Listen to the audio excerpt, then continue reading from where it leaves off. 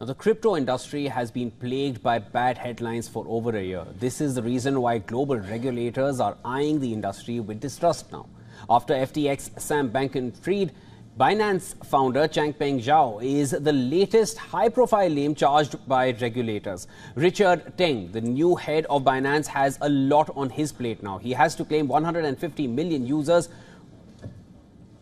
he has to calm 150 million users who may be on the verge of losing their composure and appease aggressive US authorities as well. Teng also has to maintain the support of Zhao and his partner Yi He, who is the co-founder. Binance will pay $4.3 billion, one of the biggest fines in US history. Zhao will pay a punishment of $50 million. A plea agreement reduced his sentence from 10 years to 18 months, but he still faces much time behind bars.